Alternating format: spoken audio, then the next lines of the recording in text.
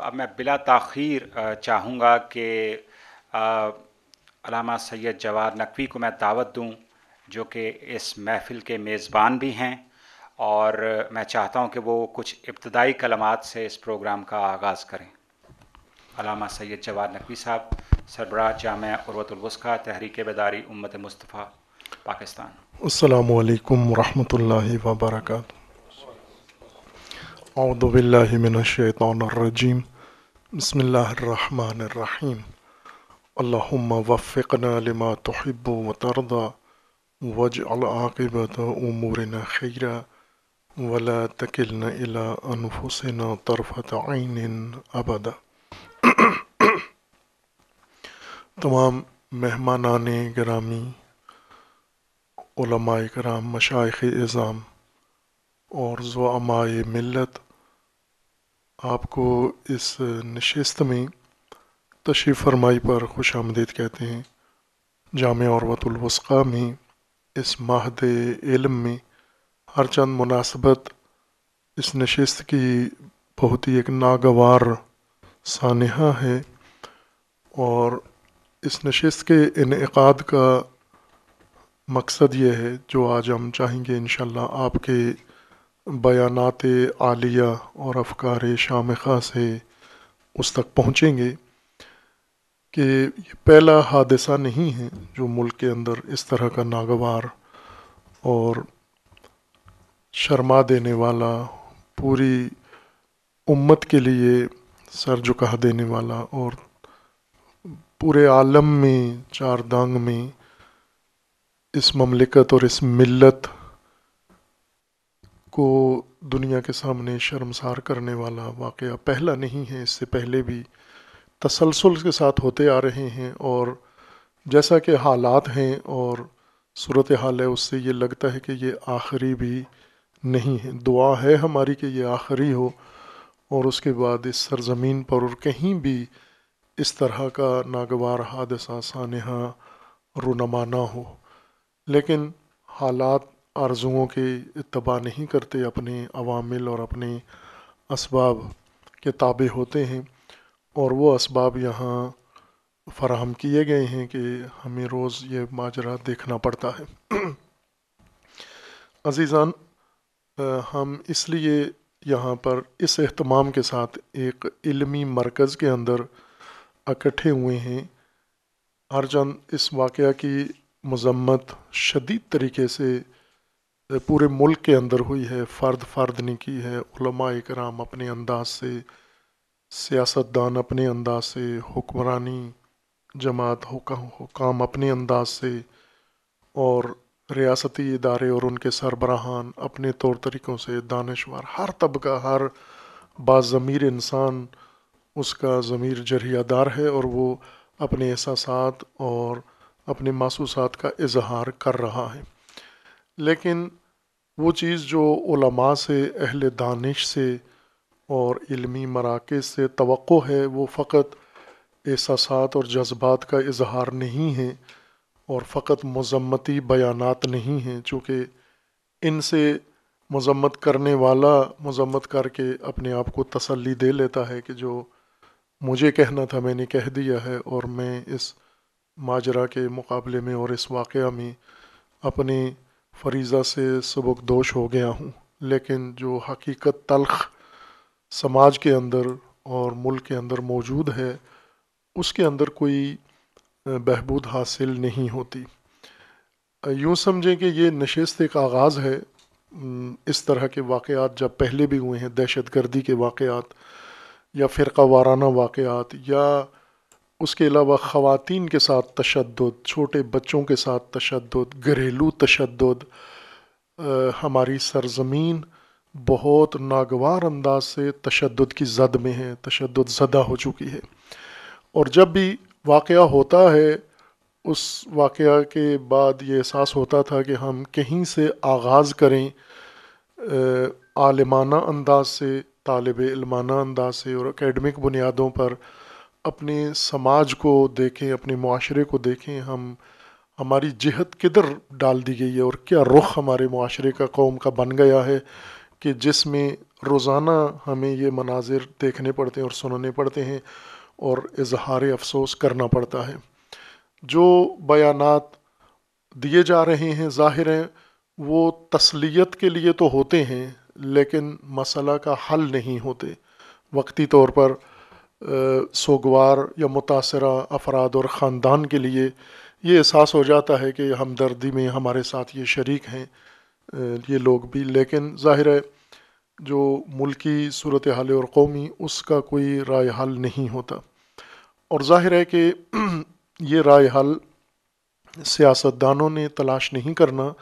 सियासतदान और हुक्मरान हमेशा जो राय हल होता है, उनको दिया जाता है, उसको लागू करते हैं, उसको अमली जामा पहनाते हैं। और हमें ये लगता है कि पाकिस्तान में, हमारे मुल्क में कोई ऐसा इदारा या मरकज़, एहसास ज़िम्मेदारी नहीं करता जो इज्तमाही और समाजी और दीनी व माशरती इन मसाइल को बैठ कर एकेडमिक बुनियादों पर तजिया करे। और इनके इसबाब व इलल तलाश करे कि ये सब कुछ क्यों हो रहा है? क्यों एक कौम, एक माशरा इस हद तक जवाल पजीर हो चुका है जहाँ इंसानी करामत, इंसानी शरफ़ उसका लिहाज नहीं किया जाता, जहाँ पर ख़वातीन की सरेआम बेहरमती होती है, जहाँ पर बच्चों के साथ नारवा सलूक किया जाता है, जहाँ पर वालदेन के साथ अफसोसनाक सलूक किया जाता है। यानी अकदार मुकम्मल तौर पर इंसानी अकदार हमें नापैद नज़र आती हैं। तो यहाँ बुनियाद है उलमा की, उलमा से मुराद हम अपनी ज़बान में फ़ारग व तहसीलान मदरसा को कहते हैं, लेकिन क़ुरानी असलाह में और दीन की असलाह में वो साहिबान इल्म दानश व फरासत, जिन्हें अल्लाह ताला ने बसीरत दी है शूर दिया है, और जिनकी ये ज़िम्मेदारी है कि वो तबीब के तौर पर बैठकर अपने बीमार माशरे और बीमार कौम की बीमारी को तशखीस दें पहले उसके लिए और फिर उसका राय हल निकालें और राय हल निकाल के उन लोगों के हवाले करें जिन्होंने इस राय हल को अमली जामा पहनाना है। आज मसन हमारे वज़ी अजम साहब का बयान आज के अखबार की जीनत बना है, जो उन्होंने हमेशा बहुत अच्छा बयान देते हैं हर मुनासबत पर। लेकिन अमली तौर पर हम देखते हैं कि जितना खूबसूरत बयान होता है, इतनी खूबसूरत कोई पॉलिसी नहीं होती, उसके ऊपर अमल दरामद नहीं होता, उसका कुछ भी अमली नहीं होता। एक पूरी बड़ी फहरिस्त बनती है वज़ी अजम साहब के ऐसे बयान की, जो वाक़ इंसान खुश होता है। उन्होंने ये कहा कि ये जो मुजरिम जिन्होंने ये काम किया है और इस जैसे ये इनको हम सख्त सज़ा देंगे और ऐसा कोशिश करेंगे आइंदा ना हो। खूब ज़ाहिर है, उनका इरादा नज़र आ गया कि वो चाहते हैं कि ऐसा ना हो, लेकिन राय हल उनको किसी ने दिया है। ज़ाहिर है, वो जिस मसरूफियत में है तो वो ख़ुद राय हल निकाल नहीं सकते, या उनके साथी काबीना का ये काम नहीं है, राय हल निकालना।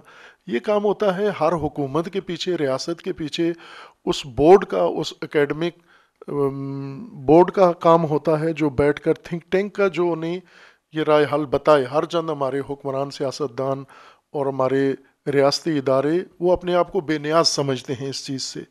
लेकिन अल्लाह की बारगाह में ये सब का फरीज़ा फरीज़ा है, वजीफ़ा है। और यूँ समझें कि ये एक आगाज़ है जो इन आगे तसलसल के साथ जारी रहेगा। आज अगर जाम उर्वतुलवस्का में आगाज़ हुआ है तो कल इन मंसूरा में होगा, मिनहाज में होगा। और इस तरह कर कर के जो हमारे पास इस तरह के इदारे हैं या जगह हैं जहाँ उलमा हैं, दानश्वर हैं, स्कॉलर्स हैं, वो बैठ कर इन इस मौजू को देखेंगे और तजिया करेंगे और आलमी तजुर्बात की रोशनी में और दीगर उलमा की तहकीक़ात से इस्ता करके ये देखेंगे कि एक समाज क्यों इन बीमारियों का और इन मसाइल का शिकार हो जाता है। अगर हम यहाँ वाक़ात को ही गिनना शुरू करें तो ऐसे हज़ारों वाक़ात अभी तक हमारी पाकिस्तान के इस मौजूदा ज़माने में रू पजीर वकू पजीर हो चुके हैं। हम देखते हैं कभी जंग में कज़न ने कमिश्नर मार दिया, किस बात पे सीवरेज के पानी पे मार दिया? ये जो कल परसों खबर आई है। इसी तरह हम देखें तो हर तरह के शर्मनाक तरीन वाक़ात होते हैं कि बाप ने नौज़ोबिल्ला औलाद के साथ बदफेली कर दी। बच्चों ने माँ बाप को घर से बेदखल कर दिया और तोहन कर दी, और जो कुछ हो रहा है सबके सामने है। अब सूरत हाल ये कि इसको बैठकर हम समझें, खोलें इस मौजू को और बताएँ, अपनी उम्मत को शूर दें, ये बेशूरी का नतीजा है। उनको मुतवजह करें, उनकी तरबियत करें और उन्हें आगाह करें ताकि वो इस बीमारी से निजात पाएँ। हम कोविड से बचने के लिए कितनी आरज़ू भी रखते हैं, तमन्ना और खौफ ख़तर भी है। लेकिन कोविड से हज़ार हा गुना, बल्कि कोई क़यास नहीं किया जा सकता इस बीमारी का जो इस वक्त हमें हमारे माशरे माशरे और उम्मत को दामनगीर हो चुकी है। इस बीमारी से इलाज इन तबीबों का काम है। अमीरमिन सलाम का नहजुलबलागा में खुतबा है, जिसमें हुजूर नबी अकरम सल्लल्लाहु अलैहि वसल्लम के बारे में अमीरमिन फरमाते हैं कि तबीब दवार बितब ही, कि हुजूर को अल्लाह ताला ने एक तबीब बनाकर मबूस फरमाया है और वो अपनी तिब और मरहम लेकर और दवा लेकर कूचा कूचा, करिया करिया, गली गली, हर जगह पहुँचे और तमाम बीमारों की बीमारी को तशखीस देकर उनका इलाज किया और वही गुमराह लोग, बदराह लोग, उन सबको हिदायत की, सुधारा उनको और उनसे एक बेहतरीन उम्मत तश्कील दे दी। तो अगर एक काम उस जाहलीत में हो सकता है, जो ऐसे ही कामों में मुबतला थे तो आज तो अल्हम्दुलिल्लाह की तादाद बहुत ज़्यादा है, इल्मी मराकज़ बहुत ज़्यादा हैं, और हिदायत के वसीले कहीं ज़्यादा हैं, इल्म आम हो चुका है, टेक्नोलॉजी ने हमें बहुत सारे वसाइल दे दिए हैं तो हम बेहतर तरीके से ये ज़िम्मेदारी एहसास करते हुए और तबीब के तौर पर इस माजरा की तरफ़ निगाह करें। मैं पहले भी एक ऐसी नशेष में अर्ज़ किया था कि हम उमूमन पाकिस्तानियों का मिजाज है कि हम पुलिस बनकर हर माजरा में उतरते हैं। यानी फ़ौर किसने किया, क्यों किया, कितना पकड़ा गया, क्या वो ये पुलिस के काम है? ये रियासत का काम है, हुक्मरान का काम है, ये इदारों का काम है पुलिस बनकर इन मसाइल के मुजरमों को पकड़ना और सज़ा देना। उलमा का काम, तबीबाना काम होता है। और हम रोज़मर्रा देखते हैं कि एक एक्सीडेंट का मरीज़ जब हॉस्पिटल में आता है तो तबीब हरगिज़ ये नहीं पूछता किसने मारा है, वो उसकी जान बचाता है। ये देखता है कि इसकी हड्डी टूट गई है, ये ख़तरे में है, इसके दिल का मसला है, इसका कोई और उस नाकस है तो इसकी हयात बचानी है। अभी हमारी कौम का यही हाल है, अल्लामा के बकौल के अजबानीस के नफस मसीहादारी अजबानास के बीमार तू बीमार तरस्त अल्लामा इकबाल फरमाते हैं कि ताजुब इस बात पे नहीं है कि तुम मसीहा हो। ताजुब इस बात पे करो कि तुम्हारा बीमार बाकी बीमारों से ज़्यादा ख़तरनाक हालत में है। हमारा मुल्क कौम ज़्यादा बीमारी, ख़तरनाक बीमारी में जा पड़ा है। और इस बीमारी का इलाज तबीबों के पास है और वो अतबा हैं, अहले दानिश हैं। इसलिए हम यहाँ जज्बातियत के लिए नहीं जमा हुए जज्बाती बातें। ज़ाहिर वो हो रही हैं, कर रहे हैं और अच्छे तर्जुमानी कर रहे हैं। मैं समझता हूँ कि इस वाक़ पर जिस जिसने बयान दिया, बहुत खूबसूरत और आली बयान दिया है।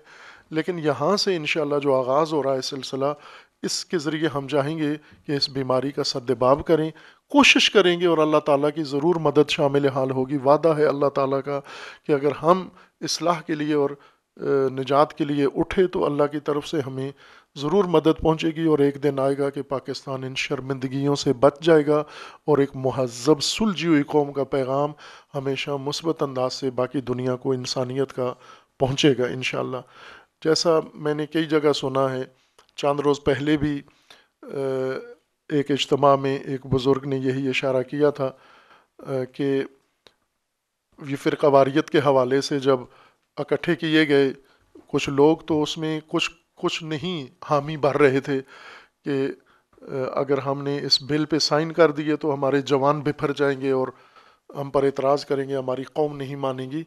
तो जो मुखालिफ हरीफ थे, उन्होंने कहा कि, देखो, ये साइन कर दो।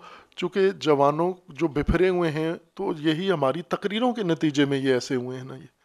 तो जब हमारी तकरीरों से ये बिफर के कत्ल गारत कर सकते हैं तो हमारी तकरीरों से ये आराम से बैठ भी सकते हैं।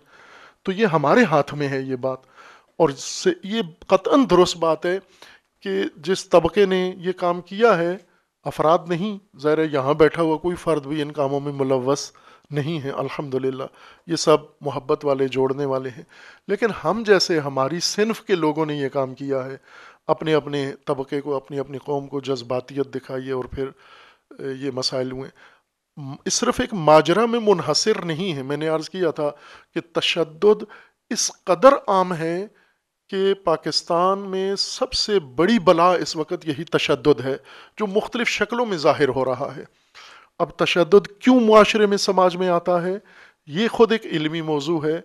इसको हमने समझना है, तजिया करना है। आगे, आज इन बहुत मुआज़ और दानश्वर शख्सियात यहाँ तशरीफ़ फरमा है। इन ये रहनुमाई करेंगे।